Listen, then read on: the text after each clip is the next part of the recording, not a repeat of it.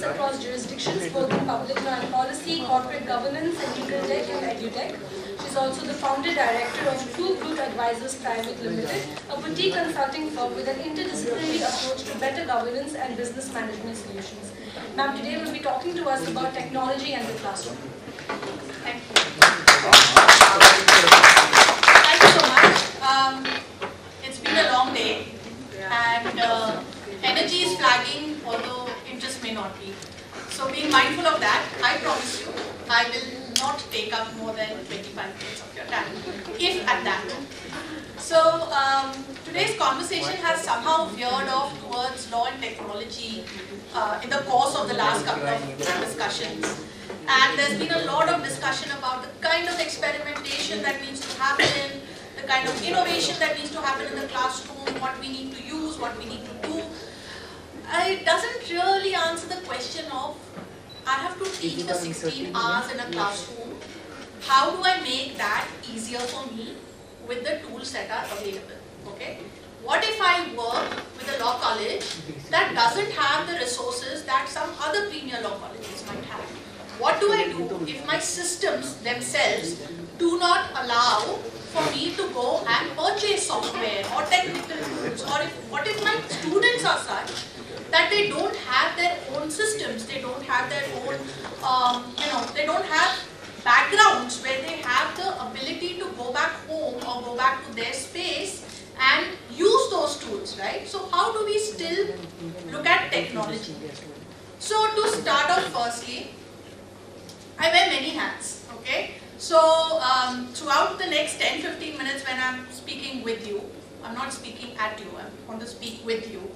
Um, I will be juggling those hats. So as I will be speaking as somebody who teaches uh, both young adults and adults, I do a lot of work in legal tech, I do a lot of corporate investigation, and I also employ. So I will speak as what I look for as a potential employer. I will speak from the perspective of being in the classroom where students have next to zero attention span because you know they expect a fantastic Instagram reel to play out to hold their attention, which is not going to happen, right? And I speak as somebody who's a teacher who has to mark attendance, who has to set assignments, who has to examine all those assignments that are turned in, who still somehow has to research, then get that research published in a Scopus Index journal, then somehow turn up for conferences, seminars and network, and in all of this, still keep an eye on the future. I can't do all of those things. I'm not superwoman. I'm not a superhuman being, right? I'm a human being. So the solution, if one can call it that, is simply trying to get basic technology that already exists out there and seeing how it makes our lives as educators mildly easier. Not very easier, but mildly easier, right? So, um, I do have a presentation, but technology doesn't yeah, support technology us. doesn't support when you're talking technology. about technology. So I, I was incredibly lucky to, to have some fantastic law teachers when I was doing my undergraduate studies. And uh, the one thing that I learned is that a really good teacher can teach with no tools. Yeah? You should be able to sit across each other without even a table and still communicate information from one to the other in a positive, safe environment.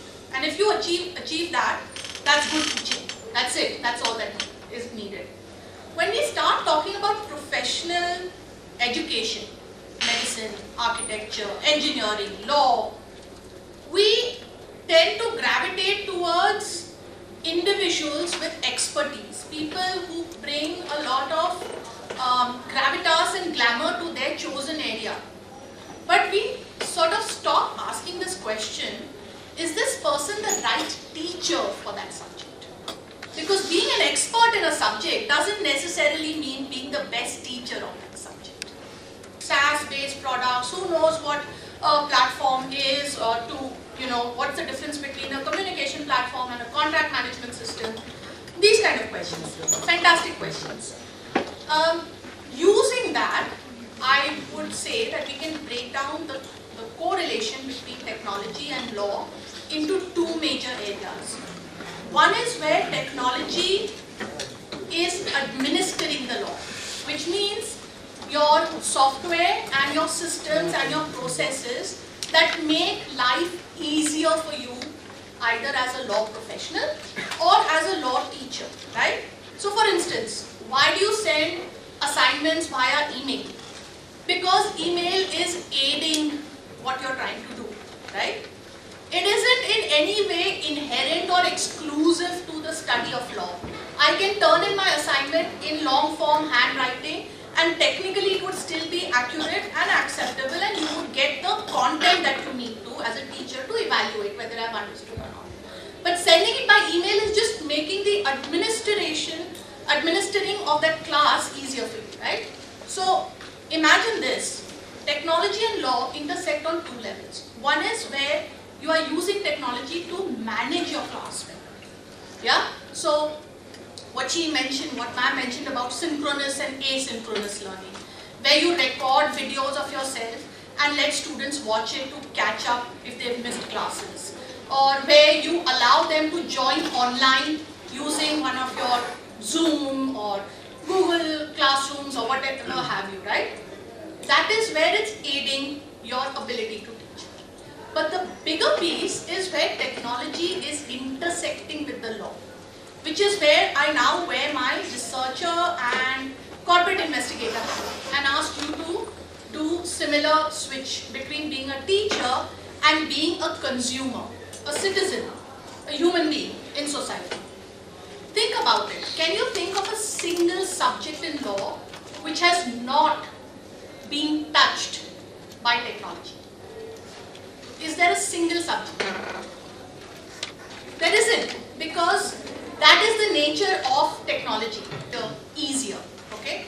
For instance, if I was to ask you how many of your students are doing exceptionally well and how many of them are lagging behind, you would have to go back to your attendance sheet or what have you to look up, look up the names, look, then recall your personal interactions and then come up and tell me, okay, I have about three students who tend to top most of the time and I have about five or seven students who uh, require extra hand-holding officers and stuff. But if you were to do this on Google Sheets, all you would need to do is click because it would give you a graphical representation of what your classroom performance looks like and it automatically is generating the data that answers the question. What have you spent on this? Nothing. I'm, is there anybody here who does not have a Gmail ID? Everybody here has a Gmail ID. If you have a Gmail ID, free, not your institutional ID, your personal Gmail ID, you can simply go to the drive, put in your data in a Google Sheet and ask for it to convert to graph. There, technology has solved your problem, right? Um, as a as a educator, I'll tell you this. While I can do it and it's an easy enough thing and it's stood the test of time, doing attendance sheets is one of my pet peeves, okay? I really dislike doing attendance sheets. Anyone else here who really struggles with it? Like it's just something that I just don't want to do. Because in my head, if I'm interesting enough and the subject is interesting enough, the student will attend the class. And if the student doesn't wish to attend the class, then they don't wish to attend the class, right? It's it's a simple binary conversation in my head. Uh, but the thing is this, Google Sheets has a simple one-click template to record attendance. And it made my life so much easier. I would love to do that last five minutes in class every day. Simply because it was easy enough for me, right? All that we're trying to say is, tools that exist, use them to the best advantage in the classroom, right? Uh, we've already spoken about plagiarism checks. We've already spoken about attendance and uh, you know uh, assignments. How many of us have ever used what is known as a contract management system? None. One person. But in all fairness, ma'am, I'm asking the educators. So here's my question to all of you. If you teach contract, the law of contract, or if you teach CPC, or if you teach evidence, do you know that your student who graduates in three or five years time is mandatorily going to have to interact or use a contract ma management system.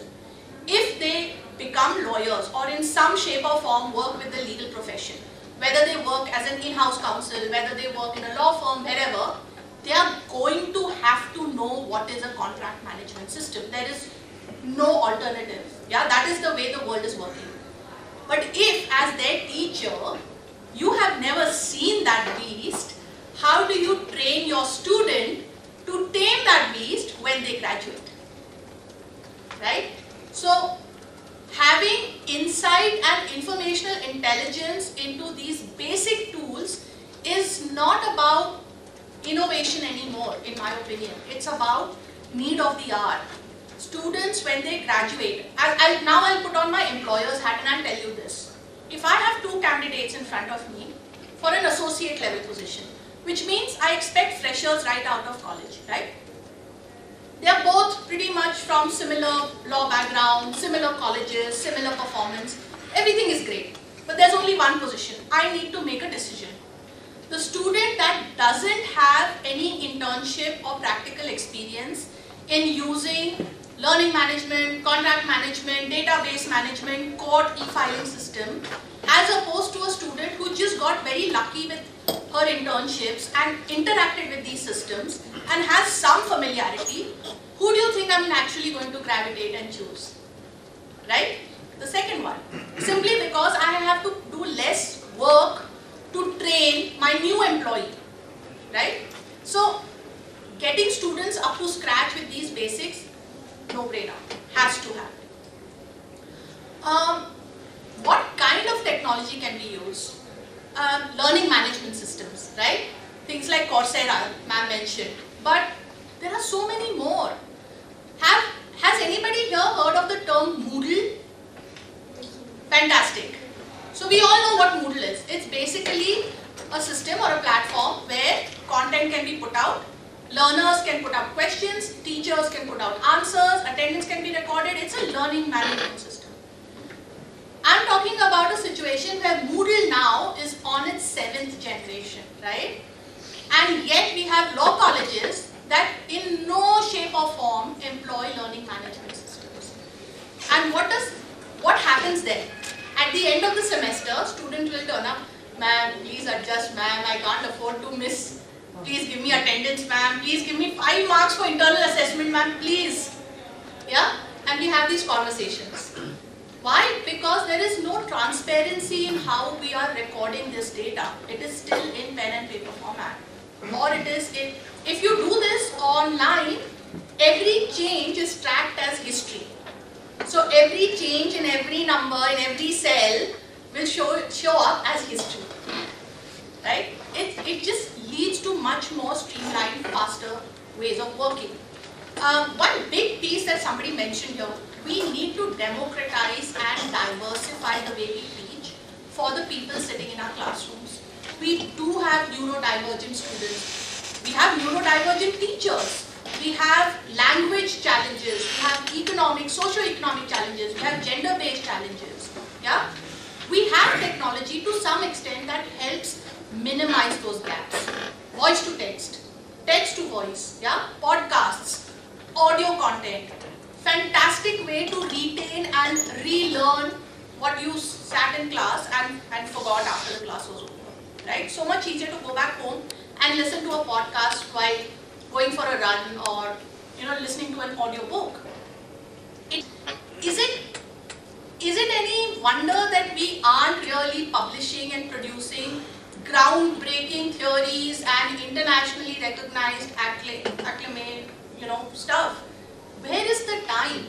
If we are going to burden our law teachers with doing tasks that can be automated and taken off their plate, we will give them the biggest gift of all, the gift of time, the gift of space.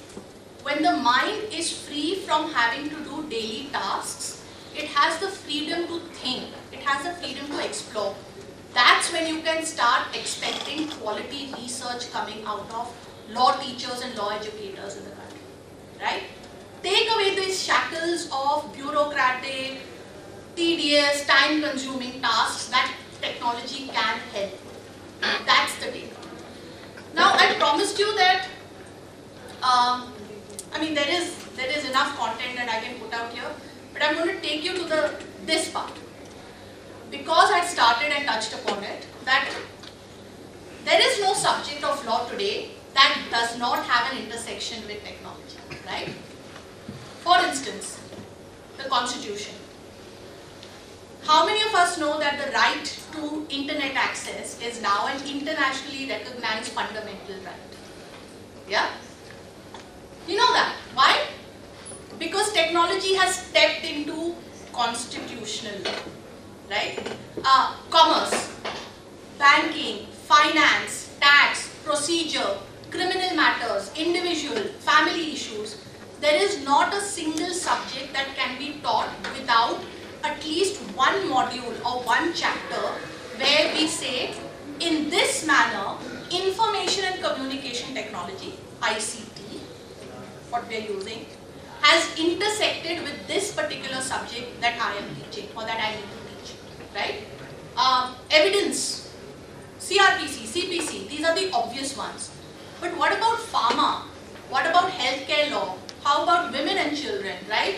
Uh, children's protection, all of this has an immediate and direct intersection with technology law. But how many of our course manuals, how many of our uh, beginning of the semester submissions on what we will teach actually contain a module dedicated to the intersection of technology and that particular law. And to supplement what we want them to read, articles from international publications, you know, the usual suspects, Mulla and Seervai and all of that. How many of us are also including, and by the way, check out this link on YouTube. Fantastic channel that does short bites on how to file an FIR. Fantastic bites on what is a custodial dispute for minor children in Indian matrimonial cases. These exist, but it is for us as educators to spend that time collating all that information and putting it down, right? So I would say that uh, technology and law intersect on two levels, quick recap, administratively, administering the classroom, and subject-wise. Um, observations and inferences, these become important.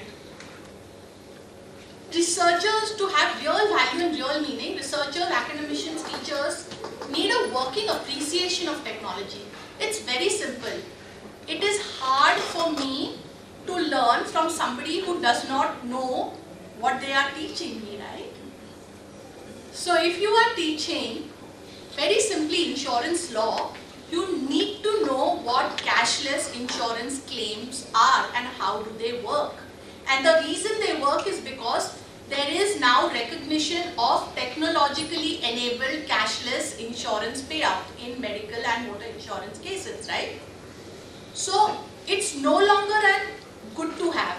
I personally believe for us to have the somewhat moral authority to teach, one needs to have at least a working knowledge of what one is teaching, right? So this whole debate that we have, should you practice first, then become a teacher? Should you be mandated to do some sort of community work to teach a practical subject, all of that? Perhaps we take a step back and say, ethically, maybe first acclimatize ourselves to this reality that ICT is here to stay.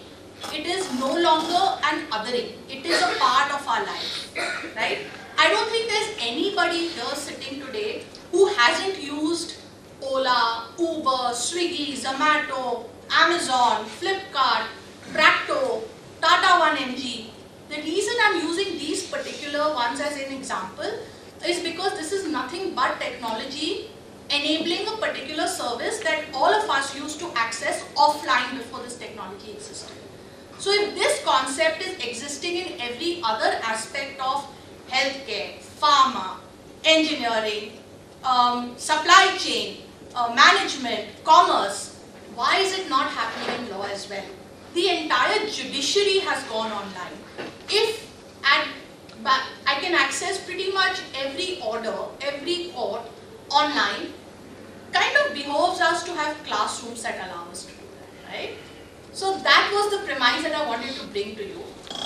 Um, I think I have stuck to my promise and kept it within 25 minutes. Yeah. Um, I'm happy to take any questions, but I can see the fatigue. You can find me anytime you need to, and I'd be happy to have this conversation. In fact, I hope that many of you might be interested. We are trying to do a workshop on more specialized integration between technology and the law classroom. So if you're interested in that, please do come up and speak to Manupatra and me about it, and we'd be happy to answer questions. Thank you so much. You've been a very patient audience.